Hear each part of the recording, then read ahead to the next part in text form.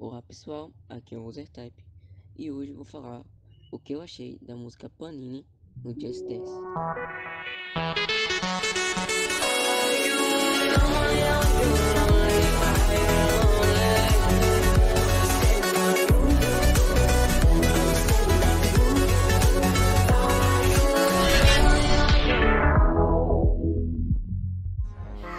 Hey Panini, don't you be a Primeiramente, eu queria falar que eu gosto muito da música, amo muito ela. Fiquei feliz demais quando o Tom Road entrou para o 2020. E tipo, eu fiquei muito hypado quando vi a música e a coreografia.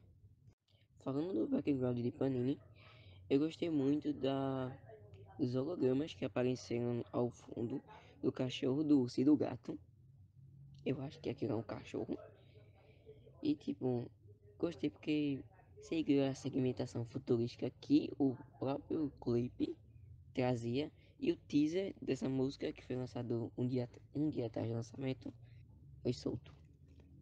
E o coach é mais um super-herói, digamos assim, a entrar no Just Dance. Eu gostei do fato de um sucesso um super-herói. Eu gostei da roupa, da capa, até do jeito que ele lá dançando, tá se movimentando. Eu gostei muito, gostei muito mesmo. E tipo, a música é com meu estilo, eu gosto do Lil Nas X, a música é com meu estilo. Eu só tenho notas boas para dar ela. Eu não sei o fato quanto eu daria, mas eu daria nota alta. Falando da sua coreografia, a música conta com um passo especial que é meio que oficial da música. Esse que tá aparecendo aí na tela agora. Tipo, eu gosto muito também da coreografia dela, da música original. Aqui foi apresentada também no, na MTV, que Lil X performou ela. Eu gostei demais e só notas boas. Então foi isso, gente. Para saber mais informações de algumas outras músicas desse, é só se inscrever no canal, dar um like e compartilha porque isso vai ajudar muito, muito, muito o algoritmo do YouTube bombar e me ajudar. E ajudar vocês a com mais informações também.